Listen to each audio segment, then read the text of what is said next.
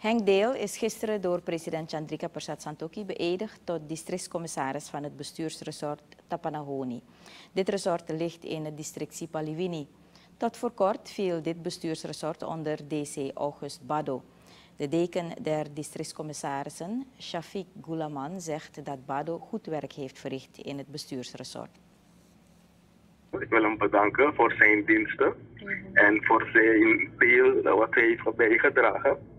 En lopende projecten ook, uh, dat zou ik dan DC Beel uh, vragen. Omdat uh, die goede projecten van DC Bado dan ook dan ter afronding te nemen. En ook, kijk, een van die goede zaken wat we kunnen kenmerken van DC Bado is dat hij ook heeft gezorgd voor die ver, verbrandoven daar. Ja. Ja, en dat is iets heel positiefs. Uh, het is iets blijvend voor de gemeenschap en het zorgt voor uh, een milieureiniging. DC Gulaman hoopt dat DC Deel de goede projecten van DC Bado zal voortzetten.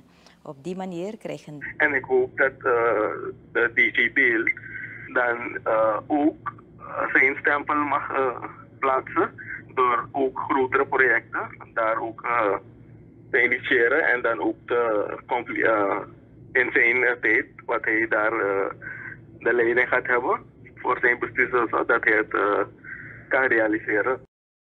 Dat was Shafiq Gulaman, deken der districtscommissarissen. DC Henk Deel wordt morgen door minister Gracia Emanuel van Regionale Ontwikkeling en Sport geïnstalleerd.